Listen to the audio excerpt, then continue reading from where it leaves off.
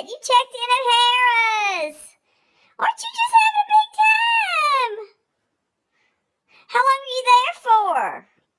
And you got Chris with you. I'm so glad you're having a big time. I know you're on business, but it's still fun. See what kind of gift shop they got.